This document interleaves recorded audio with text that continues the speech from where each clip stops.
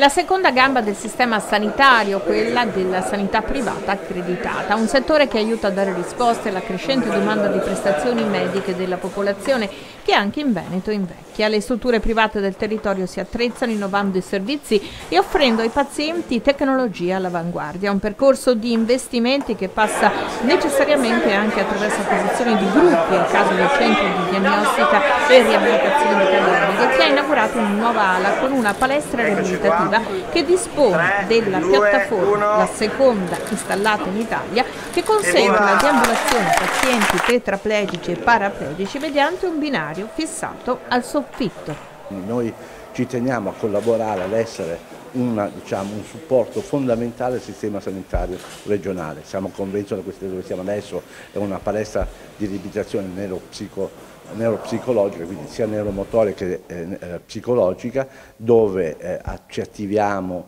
eh, dando attrezzature all'avanguardia per dare risposte a non voglio più chiamarli pazienti perché non, non, non, sono manco più tanto pazienti, sono degli amici, degli utenti, di quello che vogliamo, ma non sono più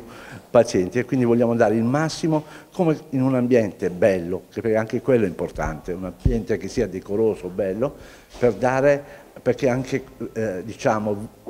fare riabilitazione o fare un'attività in ambito di strutture eh, di gradevoli è una cosa importantissima a mio avviso, oltre ad avere la professionalità di medici, fisioterapisti e un'organizzazione che eh, deve essere al top. Una sala operatoria all'avanguardia, perché?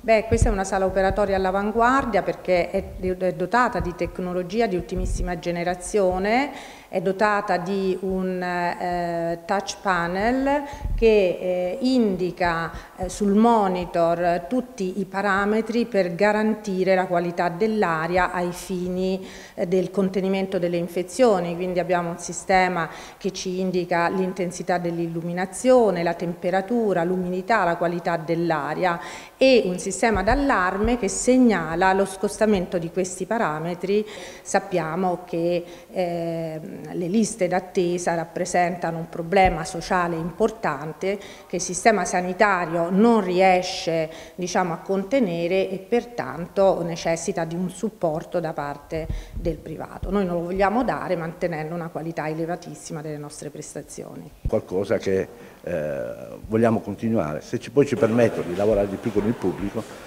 non siamo qui, questa è la realtà.